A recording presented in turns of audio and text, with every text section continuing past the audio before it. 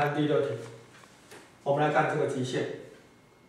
哦，因为这个 x 的整数部分哦，这会小于多少呢？x 的，哎，就 x 啊，x 它会小于多少呢？x 的整数部分加上一啊，它会大于等于多少呢？x 的整数部分，然后我。然后我全部把它把它取那个高斯符号，哦，就取整数了。那这取整数的话，哦这个就等于多少呢？哎，然后把它什么呢？倒过来，倒过来的话，x 分之一哈，这小于等于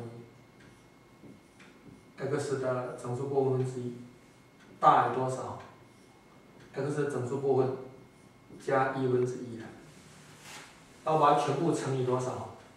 乘以 x 的整数部分，哦，这个是 x 整数部分除以 x 小于等于一，啊大于多少呢？大于这个 x 整数部分加一分之一了。然后离 x 趋近无穷大，这个趋近多少？哎，不对，这应该是 x 整数部分。这个趋这个本来就等于一的嘛，它这个趋近一，哦，因为 x 的整数部分的话，当 x 趋近无穷大的话，x 整数部分也是趋近无穷大，所以利用加几原理，limit 哦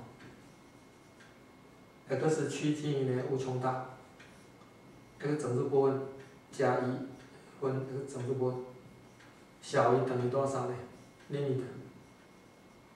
？limit，x 趋近无穷大，x 分之。X 整数部分，啊，这个等于多少？